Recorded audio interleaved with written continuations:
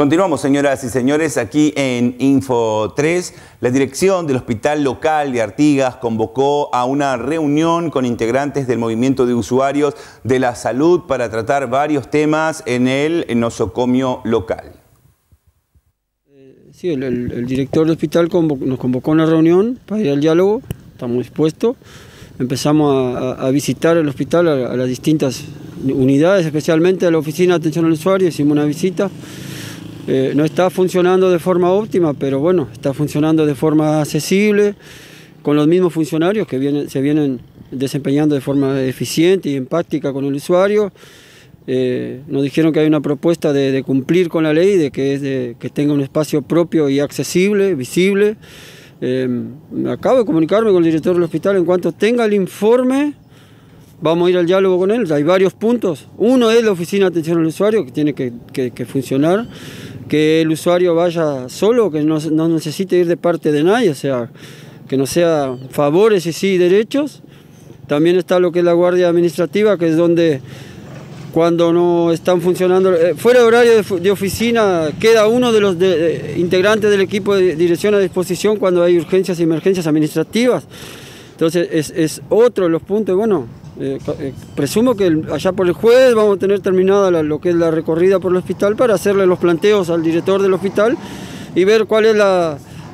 perspectiva de él y lo que propone. Y bueno, y de ahí vamos a al diálogo a ver qué,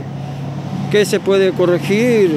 o no. Pero vamos al diálogo, estamos dispuestos al diálogo lo que habíamos visto era un retroceso, bueno, queremos que, volver a, lo que era un año atrás, o sea, antes que asumiera el equipo de gestión, bueno, que funcione lo que tiene que funcionar, que el usuario vaya desde un lugar de derechos y no del lugar de favores de nadie, que no vayan de parte que tengan que ir de parte del movimiento usuario para que no, no, va a la oficina de atención al usuario con la cabeza erguida exigiendo un derecho, con respeto sí, pero con dignidad. Bien, Ramón, con relación a la zona oeste, ¿qué novedades tenemos? Eh, están esperando una reunión, ¿no? Sí, eh, eh, se sabe, en función de la muerte que se dio en, un paciente COVID en, en, una cosa que el movimiento venía pidiendo era la internación domiciliaria de los usuarios y también la visita domiciliaria, diagnóstico y posterior traslado, se logró este, la lo que es el diagnóstico y traslado, que un poco fue el, impulsor de esto, fue el doctor Arión Fontore, director de la RAP, lo que hicimos fue empujar juntos, salió una parte, nosotros ampliamos la nota, aclarando de que pedíamos internación domiciliaria también, porque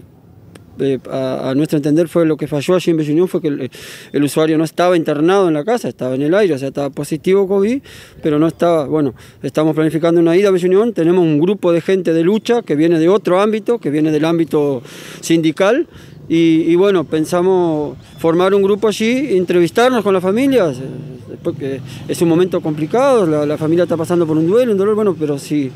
Y si no, este, igual vamos a hablar con los, compañeros de Bella Unión y, ver que ellos que están en territorio eh, empujen las gestiones, pero hay cosas generales que hacen a ACE y hacen a todo el territorio, que es la atención domiciliaria, que, la, internación domiciliaria, que, es una de las carencias que tiene el sistema hoy.